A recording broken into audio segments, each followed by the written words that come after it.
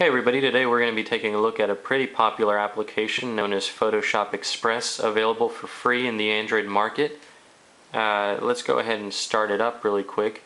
Obviously it's made by Adobe. Uh, Photoshop is a very well-known image editing software uh, you know, used by graphic designers and web developers.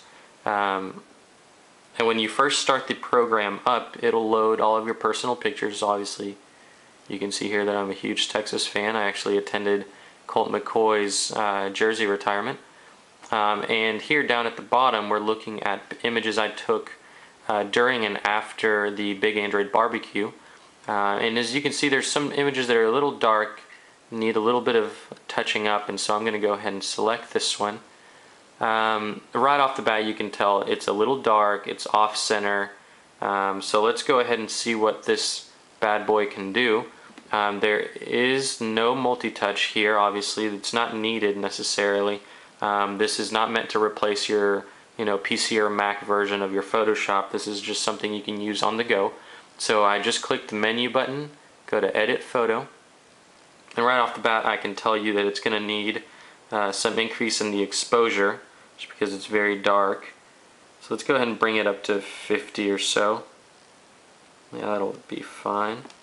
Um, it also needs increased saturation just to bring out uh, the colors. I wouldn't say go past 15 or so and again this will be different on every image. So let me just say 15 for me. Uh, open it back up again and I'm going to cl click contrast this time but let me just note that the options are exposure, saturation, tint, black and white, contrast, and brightness. So this time around I'm going to alter the contrast just a little bit. Let's see here. And, and I'm simply adjusting these by swiping my finger from left to right. Um, this one seems to need around 100. Okay. Uh, some of the other options to do is soft focus, um,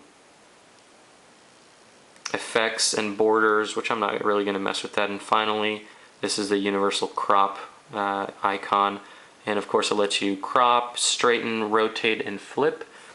I just need a crop because the image is off center. I don't know what we were thinking when we took it. And I want it to be more of a square, so this allows you full freedom no matter what you want to do. I just want us in the picture, nothing else. Uh, so I'm going to click OK.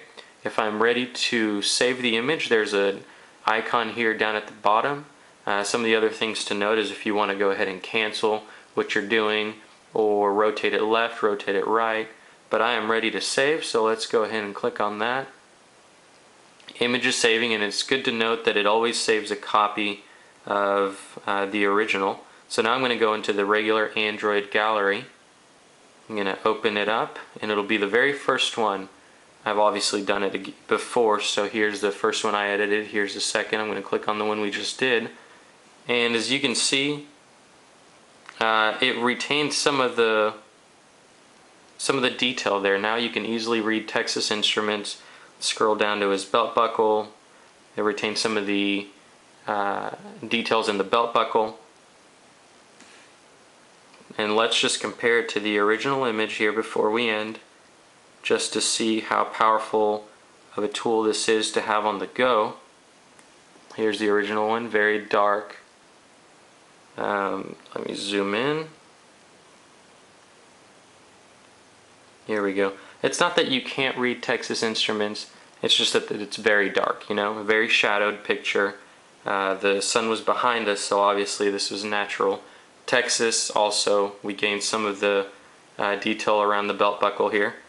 Uh, all in all, this is a great application to keep on you. It's free.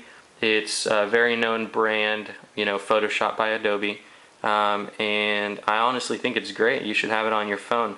Uh, this has been Christian from the Android Wave, and we will see you later. Thanks. Bye-bye.